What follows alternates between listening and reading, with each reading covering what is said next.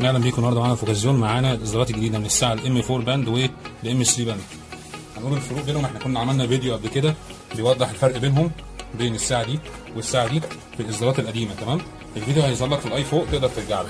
لكن الفرق بين ال M 4 وال M 3 وما هو فقط إلا في ترتيب وشكل ال option الداخلي ل في شكل ال option من جوه يعني ما هو الا اختلاف شكل ال option من جوه أما الساعة كأستيك هو نفس الأستيك. تمام؟ آه مفيش أي فرق تمام؟ تقريبا. آه مكان بس ال- البصمة هنا دي ال M 3 تمام؟ مكان البصمة وهنا ال M 4 أو مكان الزرار يعني اللي أنت تقلب منه تمام؟ مختلف تمام؟ لكن نفس ال option موجودة. هنا ال application مختلف اللي بتشتغل عليه وهنا ال application مختلف. لكن نفس ال option موجودة نفس الشاحن. يعني الإصدارات الجديدة دي آه، آه، الشاحن بتاعها واحد. يعني شاحن ال M 3 معانا أهو. تمام؟ ده شاحن ال M 3 دي علبة ال M 3 الشاحن بتاعها أهو. تمام؟ شاحن ال M 4 نفس القصة أهو. نفس القصة. طلعنا من العلبه برضو. أهو. شاحن ال M 4 تمام؟ نفس الشاحن. يعني أهو. الشاحن. هو هو. طبعا ده اختيار واذواق آه، أنت تقدر تختار بين ال M 3 وال M 4 حسب ذوقك والحاجة المناسبة ليك لكن كسمك وك option هي نفس ال option في الاثنين يعني مفيش أي اختلاف. ونفس برضه إن أنت لما ترفع إيديك الاثنين بينوروا فمفيش أي اختلاف بين الساعتين 3 band نفتح العلبة مع بعض ونشوف طريقة التشغيل. أول حاجة بنلاقي الكتالوج والساعة شكلها. ووصلة الشحن الخاصة بيها. تمام. نبدأ مع بعض ونشوف شكلها على الطبيعة. ده شكل الساعة على الطبيعة. طبعا الإصدار الجديد هنقول إيه الفرق بيه؟ وبين القديم الام 3 طيب هنا الشكل هنلاقي إن آه مش عارف الصورة واضحة ولا لأ. في زي تجويف هنا اللي هو مكان زي البصمة يعني اللي بتقلب منه الشاشة. طيب الإصدار القديم من الام 3 كان الشاحن نفسه مرفق في الساعة وكنت تشيله كده وتوصل وخلاص وبتنسى قصة الشاحن.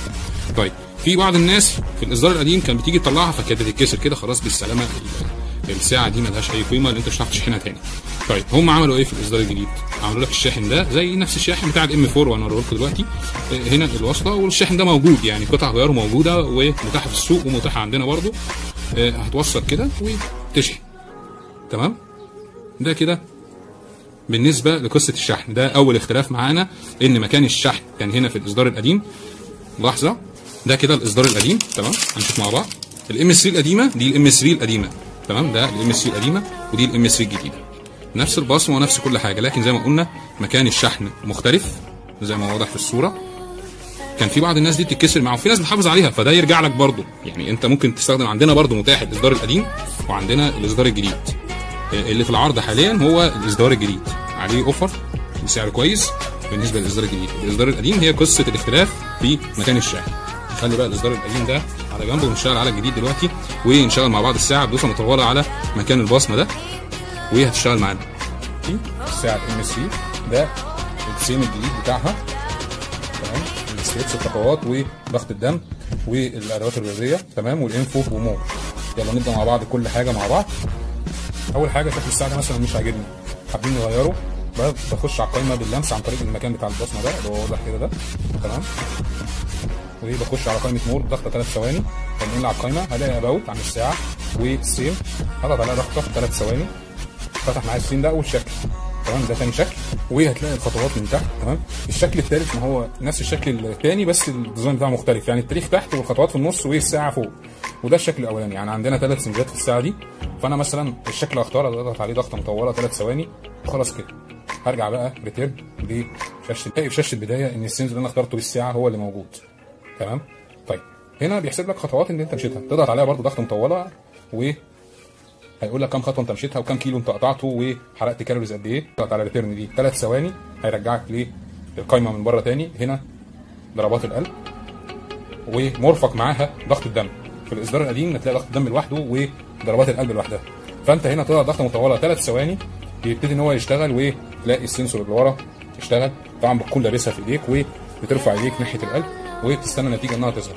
نجربها مع بعض. هنا كده طلع لي النتيجة. هنلاقي الاختيار اللي بعد كده اللي هو موشن نضغط عليه اللي هو الحركة يعني هتلاقي فيه كذا حاجة جوه الخطوات وال skip اللي هو انت بتنط الحبل والتمارين الرياضية اللي هي القاعده وترجع تاني return تمام؟ الاختيار اللي بعد كده اللي هو ال info. ضغطه مطولة هو بيقول لك فاضي. ال info ده بقى بيظهر لك فيه إيه؟ أي إشعار جاي لك على الواتساب على الماسنجر على الفيسبوك الإشعارات كلها اللي بتيجي على موبايلك بتظهر هنا بس لما تكون عامل لها connect على الموبايل. تمام؟ نضغط على more هنلاقي about وال themes لو حبينا نغير ال themes زي ما وضحنا لو حبيت تقفل الساعة ولو حبيت ترجع تاني. ده كده كل ال option اللي موجود في الساعة. تمام؟ ورجعنا تاني للبداية. تمام؟ طيب. وضحنا الشحن. تمام. الساعة دي بقى إزاي اربطها على الموبايل؟ نرجع للكتالوج هنلاقي فانت هتعمل scan لل QR code ده. تمام؟ طبعا لو ما عندكش البرنامج فاحنا كده كده هنعرفك اسم البرنامج في الفيديو. هنشغل ال QR code و طلع لك اسم البرنامج هتقول له go to website وبيفتح معاك ال application الخاص بالساعة اللي هو ال FitPro. تمام؟ هتقول لك download من Google Play. طبعا أي حاجة على Google Play دي أمنة بنسبة 100% لأن مش هيضر موبايلك. تمام؟ وتعمل open للبرنامج ده شكل البرنامج. افتح معانا الواجهة دي. إزاي بقى تربط الساعة بالبرنامج؟ هنلاقي شكل البرنامج كده steps كل حاجة zero لأن أنت مش عامل connect مع الساعة. طيب هنيجي في الاختيارات اللي تحت دي هنخش على set و الاختيار اللي فوق. هيعمل scan find يعني هيلاقي إن الساعة موجودة اللي هي دي هتضغط عليها. هيقول لك try to connect وهتستنى آه لحظات لغاية ما يعمل connect كده هو عمل connect إزاي؟ بنلاقي علامة البلوتوث ظاهرة فوق هنا كده في الساعة زي ما هو واضح العلامة اللي هي ديت. فكده أنت الساعة والموبايل بقوا واحد. تمام؟ وكمان هنلاقي إن التاريخ والوقت اتظبط. نفس الوقت اللي في الموبايل هو هو اللي على الساعة وخطوات طبعا zero إحنا لسه ما مشيتش بيها تمام؟ ونفس كل حاجة هتلاقي ال calories وكام كيلو انت مشيته وكل ال option اللي موجودة فيها. طيب. وبرده آه motion موجودة آه حبيت تعمل start لأي حاجة برده هي نفس ال option ونفس الحاجة بس لازم تكون لابس الساعة طبعا. تمام؟ في option حلو قوي في البرنامج ده لو أنا مش لابس الساعة وسايبها في البيت ومش لاقيها تمام؟ فادوس على كلمة find هو هيخلي الساعة أهي بتهز في ايديا تمام؟ فأنا كده لقيت الساعة تمام؟ طيب remote to take photos يعني أنا لو حبيت إن أنا أصور عن طريق الساعة تمام؟ إزاي بقى افعل الإشعارات تظهر لي على الساعة؟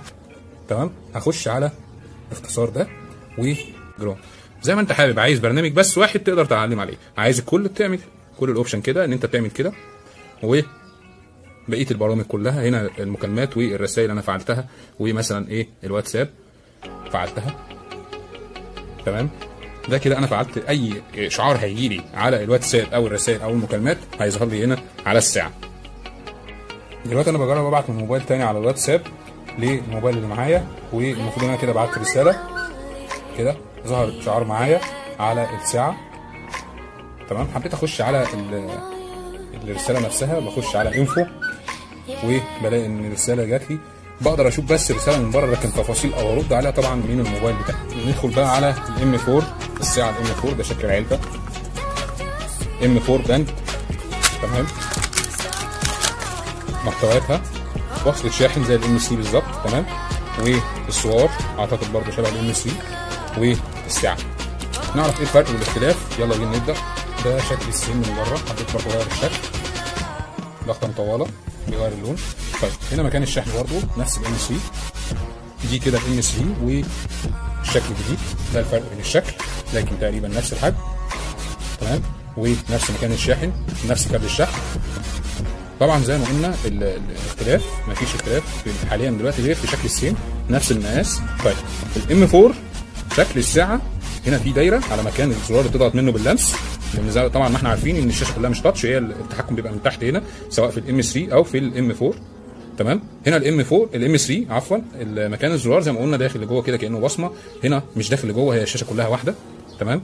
و في دايرة كده باينة بالأبيض فده كده الاختلاف في الشكل. تقريبا بتقدم نفس نفس الإمكانيات بتاعت الام 3 مفيش أي فرق زي ما قلنا غير في الشكل. طيب خلينا بقى نبدأ في مميزات الساعة الام 4 مع بعض سريعا كده. دي واجهه المستخدم زي ما وضحنا في الام 4 الإصدار الجديد. تمام؟ شكلها مختلف عن الإصدار القديم. وهنا الخطوات اللي انت مشيتها وقطعت كام ميل وحرقت calories قد إيه ونبضات القلب وضغط ونسبة الأكسجين في الدم. تمام؟ و find phone. طبعا لو انت ناسي تليفون بتضغط على على ال find phone دي بيعمل vibration على الموبايل. طيب بعد find phone إيه بتلاقي اشعارات الرسائل اللي جات لك على الموبايل. بتظهر لك هنا في الساعة. تمام؟ و about كده كل ال option طيب إحنا إزاي نربط الساعة دي بالموبايل عشان يظهر لنا الإشعارات على الساعة؟ تمام؟ زي ما وضحنا في العلبة. نفتح العلبة مع بعض. هنلاقي معاها كتالوج. تمام؟ ده كتالوج. برضو هنلاقي ال QR code تقدر تعمله scan وتنزل البرنامج. يلا نبدأ مع بعض. نفتح برنامج QR code ونعمل scan ل البرنامج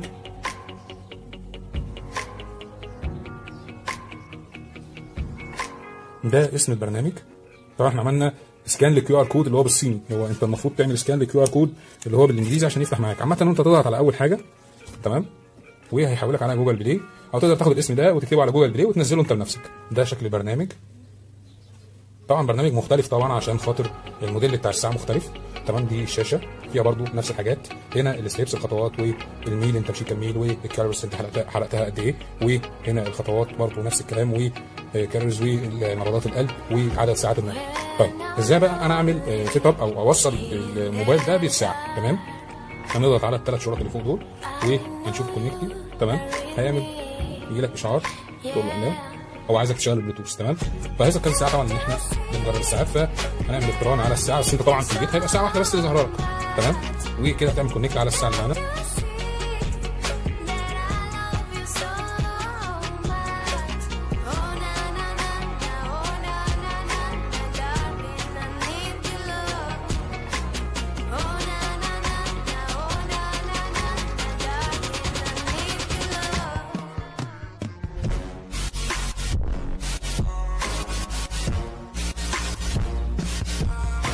كده المفروض بعت رسالة وجات لي إشعار من غير أي حاجة.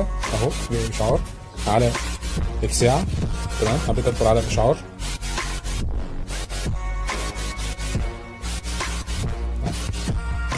تمام؟ طبعا الساعة برضو فيها أوبشن لطيف شوية يعني هي دلوقتي حضرتك لاحظت إنها مطفية. تمام؟ مجرد إن أنا برفع إيدي كده بتشتغل معايا كده يعني بتنور. يعني أنت مثلا لو ماشي في الشارع ورفعت إيديك في مستوى وشك أهي بتنور. هي تاني؟ مطفية. تمام رفعت ايديك في مستوى وشك كده نورت. تقدر تعرف الساعة وتقدر تعرف الخطوات آه شكل الستيك بتاعها على الطبيعة. تمام. آه السينس طبعا اللي بره ده برضه تقدر تغيره. تمام عن طريق ضغطة مطولة على الشكل. اداني الشكل التاني. تمام مش عاجبني. اضغط ده بضغطه مطولة. اهي غير الشكل معايا. زي ما وضحنا كده الشكل ده مختلف. تمام. برضه ضغطة ثلاث ثواني. جاب اللون الأبيض بدل البني ضغطه ثلاث ثواني. جاب الشكل ده. عندنا كده ثلاث سمزات وكل سمز بيقول لك التاريخ والوقت وعدد الخطوات.